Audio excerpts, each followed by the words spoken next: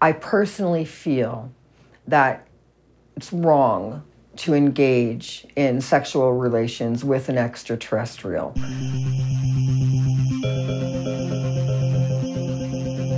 You see this flying saucer? Yeah. Okay, let's let's talk about the woman for a second. The girl? Mm-hmm. Oh God, she was beautiful. Oh, stark naked. Oh my God. And very human. Very human looking. And what happened next? She bent over and embraced me and hugged me. And they come like a thief in the night. And they steal from the body of a human, violating every human right imaginable. The next thing I know, this little gray alien was on her left. He was holding her hand and he's telling me to forget, forget what you just saw. And there will be a day of reckoning when they will take responsibility for their action because they have grossly underestimated the human spirit.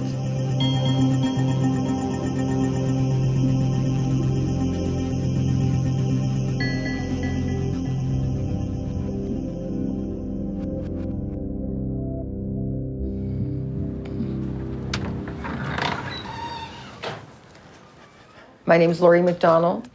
I'm a clinical hypnotherapist with True Hypnotherapy. I do research in extraterrestrial abduction and I specialize in regression work for abductees and contactees. I have had over a thousand extraterrestrial cases. My youngest has been seven years old. When a person comes and they know or suspect that they have had some type of alien encounter or an extraterrestrial abduction, often they express to me that they can feel there's something else there they just can't remember. It's on the tip of their tongue, they can't access that memory. They come to me with, they've seen me in a dream, one man said that the ETs just up and up told them. And then gave him images of to find me. True Hypnotherapy, I started here in Sacramento about five years ago. And I chose the name because my motivation and my intent in helping people was to allow them to find their true self, to find their authentic self. And I find that hypnotherapy is the most effective way to move into and out of your issues.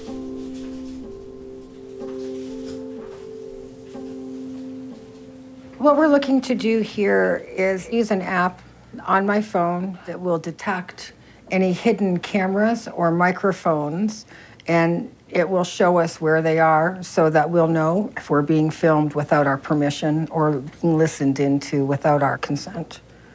It was brought to my attention by one of my experiencers that uh, they felt that they had detected some form of listening device in my home during a group meeting. So you want to look into the obvious places where hidden cameras go. Uh, in a pen is a big one. Once every week and a half or so, I'll just do a quick sweep just to make sure, or when I have high profile celebrity experiencers come, we want to make sure that uh, their story is secure. We are clear. Sorry, that's just my rock and roll app. For the last three years, I've really concentrated a, a, good deal of my energy on creating a psychological profile of the extraterrestrials that the witnesses describe during a regression. The most common races that we see involved in the abduction phenomena are greys, various reptilians, Pleiadian. Mantis beings are often spotted in the background. I want to make sure that I'm thorough because there's protocols that will give a person instruction on how to behave when you find yourself face to face, eye to eye with an extraterrestrial or non human entity.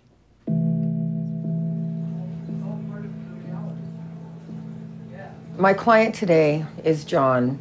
He's a lifelong experiencer whose case involves personal relations with extraterrestrials and abduction. What brought me here is my experience with the Greys. It actually started when I was really just out of the crib. I got visited. But when I turned 17, well, then every night after that, from 10 o'clock to 2 in the morning, these UFOs started showing up. I've got lots of photos. I've drawn my own pictures of everything that, that's happened to me that I can remember. The dreams, the flying dreams, the nosebleeds, so damn many of them is unbelievable. There was an incident later. I stepped out to take the garbage out, and I think it was around 2 in the afternoon, and I had a 48 Plymouth sedan sitting over there and bought from an old couple. I always bought them old cars, beautiful things.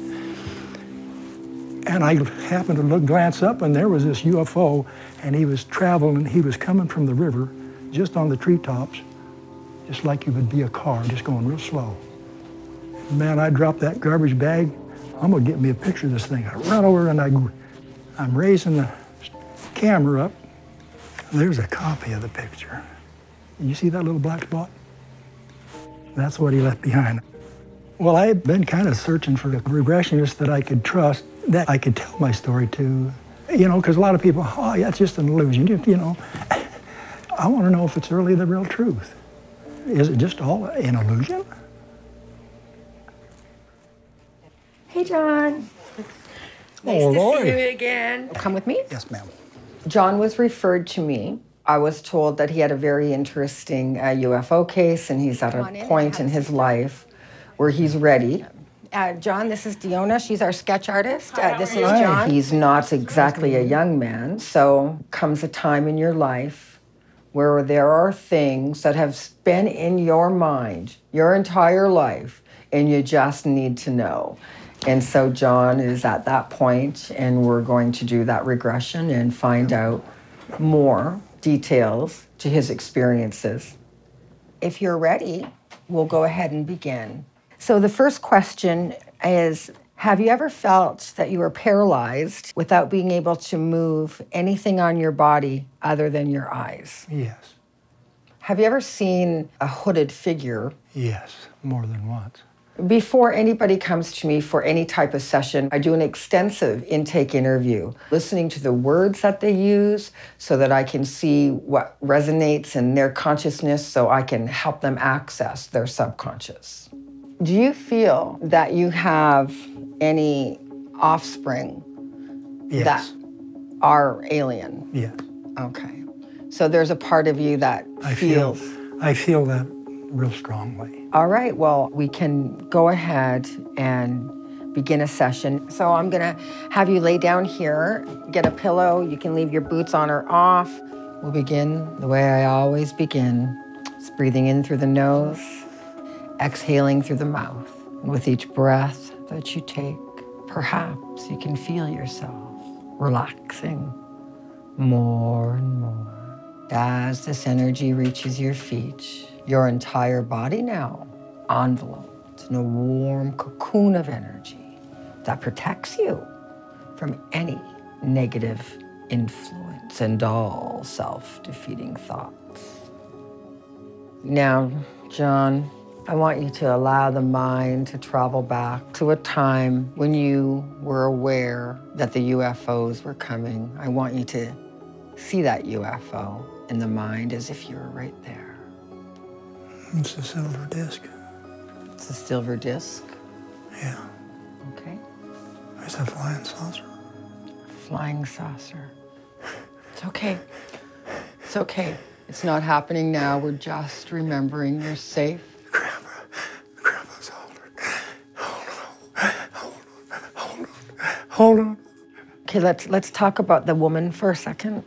The girl? Mm-hmm. Oh God, she was beautiful. Oh, stark naked. Oh my God. And very human. Very human looking. Mm-hmm. And what happened next? She came right through the trailer wall. She bent over and embraced me and hugged me. Ah.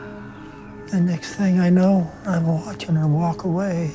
This little gray alien was on her left. He was holding her hand and he was leading her back to the ship. And he's telling me to forget. Forget. Forget what you just saw. And I felt, I felt peaceful. And the next thing I knew, I woke up. I was hurting. I was hurting down in my groin. I was hurting real bad. And I pulled down my pants and looked, and the bruises were getting blacker. Take a deep breath now. Exhale. I'm scared. Okay, you don't have to be scared. They come like a thief in the night. They steal from the body of a human, violating every human right imaginable by taking sperm and ovum and creating what they call a hybrid program. All right, so what these are, these are MRI splices of an adult male's brain. And uh, this particular client has had extraterrestrial interference, what you might say his entire life. And what it is that he feels is an extraterrestrial implant is this speck right here. He believes that there's a radio frequency being emitted from this. And this is one of three extraterrestrial implants uh, that he feels that he has. Uh, the other two are in his leg. He had uh, requested that I sign legal paperwork with him that would give me permission to receive these abductions. Upon his demise, they'll be removed and turned over to me. We will be able to send these out to a laboratory that will do a, a, full chemical compound analyses on these to let us know if they're terrestrial or extraterrestrial. I highly suspect that they are extraterrestrial. All of the things in our life can make you or break you. I had uh, an abusive, neglectful uh, home where I was put up for adoption. I wasn't raised. I raised myself. I had no relationship with my mother. I wouldn't have recognized her on the street. And when I was 50 years old, she called up and said, I have to tell you the story of your birth. I found out that my mom had experienced extraterrestrial contact for the entire nine months that she carried me. I guess that was my first experience. They often told her to not be afraid. They told her they wouldn't hurt her. They also told her they were only interested in her baby. It was hard for her, and I wish that at the time there were support groups like I run now. If she would have got the support that she needed, if she were heard, my life would have been different, her life would have been different. But she kept a secret for 50 years.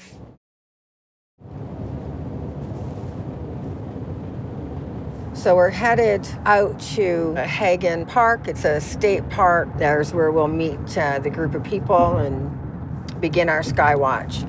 Basically, what we're doing there is ruling out uh, what we know until we're left with what we don't know.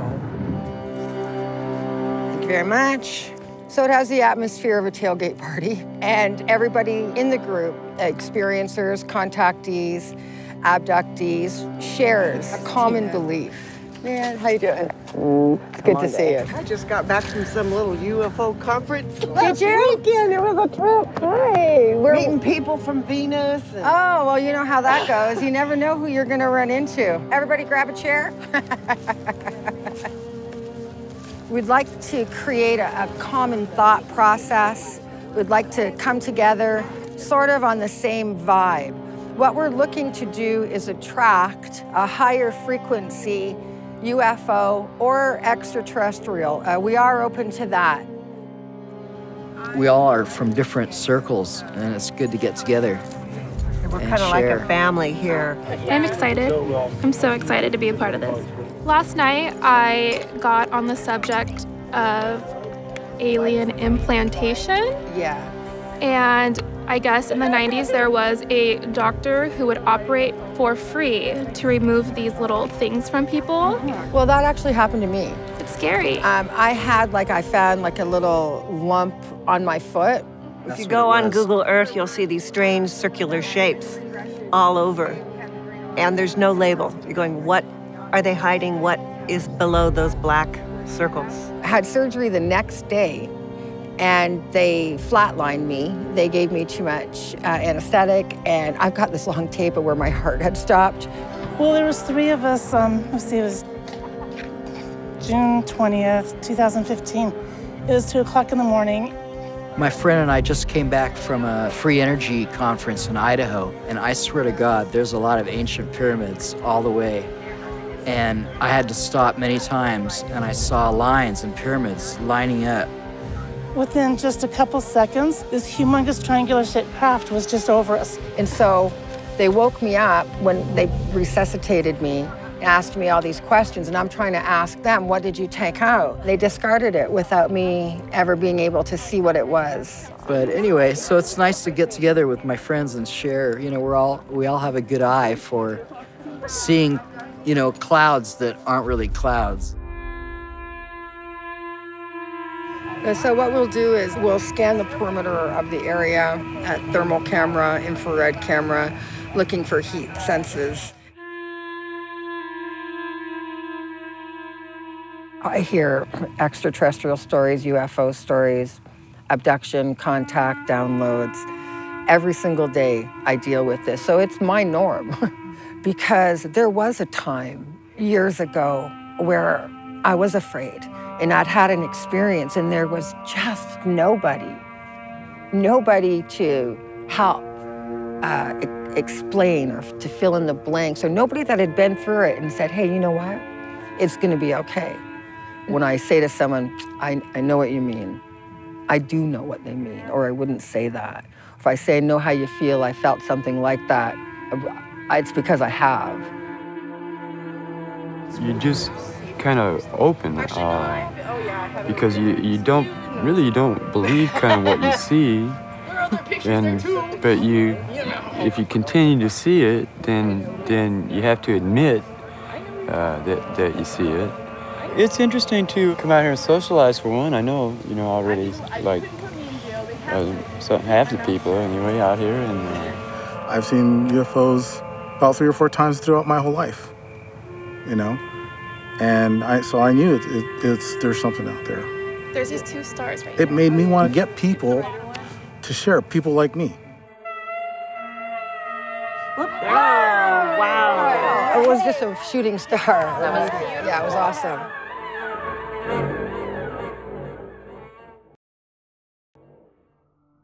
So we're going to flow back down into that 17 year old energy of John. And we can see that they've been visiting you now for some time. And I'm wondering if we were to tap in now to your higher conscious mind where you're calm and relaxed. There was 15 come in that night. Oh my God, they just scattered like a bunch of quail. Oh, Jesus. UFOs, well, you couldn't keep track of all of them. There were so many. They were just sitting there. And all of a sudden, one of them dropped down at an angle. And he stopped dead still. All of a sudden, it on on the edge of it, it turned on the most beautiful colored lights. Oh, every color of the rainbow. Greens, blues, reds, yellows. Oh, there was colors I couldn't even describe. And they're peaceful, makes you feel good to see the ah, colors. Oh, beautiful. And all of a sudden, there was three little beings. They were all about the same size. From about waist up, I could see them. Little tiny things. They were looking right at us. And all of a sudden, all of a sudden, did the, they waved at me, all three of them. And I don't know why.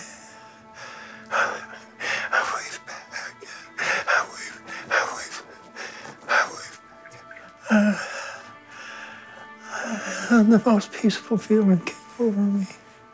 It just radiated all down through me. Like they were family. Like they were my family, part of my family. Are these the same ones that may have taken your DNA? Yeah, I'm positive of it. Okay. I almost feel like part of them.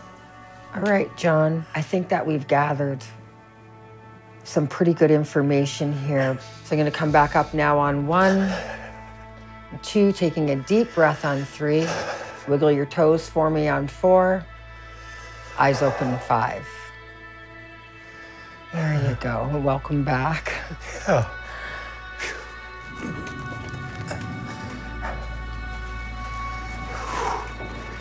Oh boy.